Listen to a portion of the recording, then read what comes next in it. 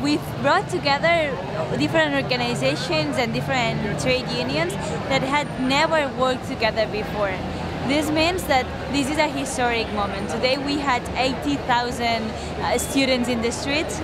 This is completely a new thing for us and it happened because all of them in the end are Democrats and all that they want is to vote and decide the future of their own country. We are not here because of independence. There are some people that are uh, pro-independence and some others against that a concept, but it's about democracy. We just want to vote. We just come together and every people's like um, collaborating with each other.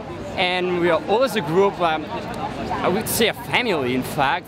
Like, I don't know people, but you're maybe here and people offer you food because you've been here the whole day. You go together and you're defending the same right. It's human rights just to decide what we want to do, what we want to be in our future. The Spanish government has always been saying that um, in the 78 when the constitution happened we started a democratic transition but in the end we never actually got the democracy. We're seeing it nowadays for instance. Um, the Catalan people is asking for a referendum and the Spanish government is not allowing people to speak. We saw how the Spanish police entered some public buildings. They detained some of the people who were working for the referendum to happen.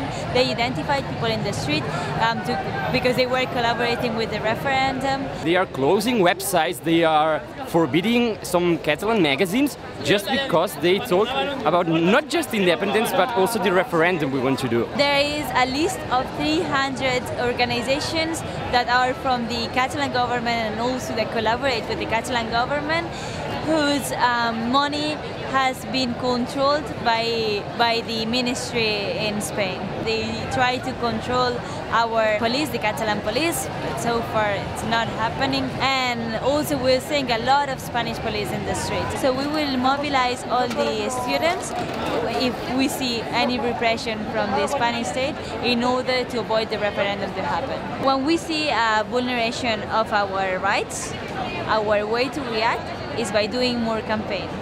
Campaigning has become illegal at the moment, but we want the campaign because we want the referendum to happen and we understand that this is a normal election. So, for instance, what we're doing here is printing different material so that people can collaborate with the referendum in the streets. We're also printing some paper ballots that can be official also for the referendum, but there will be paper ballots in these schools when people go to vote. It's a way to show that even if they try to stop us, we've got the capacity enough in Catalonia to make the referendum happen in a normal way. We all understand that the independence for us is a window of opportunities.